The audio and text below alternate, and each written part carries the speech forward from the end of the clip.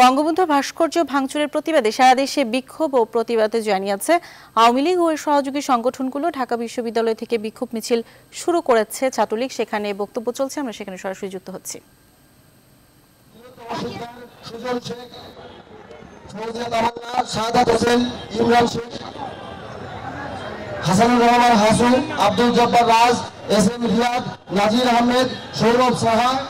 আল Imran, Al Mamun Mishkat Hossain Sabuj Khan college Khandakar Habib Ahsan, Sohag Hossain, Mansur Helal, Mihir Das, Borhan Uddin, Enamul Haque Tanan এবং বায়াজিৎ কোতোয়াল।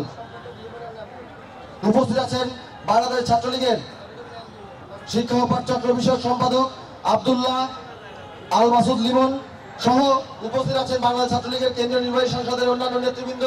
প্রিয় ভাই বন্ধুগণ এই পর্যায়ে আমাদের মাঝে বক্তব্য নিয়ে আসার জন্য আহ্বান জানাচ্ছি বাংলাদেশ ছাত্রলীগ ঢাকা বিশ্ববিদ্যালয়ের আরেক কান্ডারি, বাংলাদেশ ছাত্রলীগ ঢাকা বিশ্ববিদ্যালয়ের বিয়াল্লিশ হাজার শিক্ষার্থীদের নয়নের মণি, বাংলাদেশ ছাত্রলীগ ঢাকা বিশ্ববিদ্যালয়ের সুযোগ্য সভাপতি জনাব সঞ্জিত চন্দ্র দাসকে।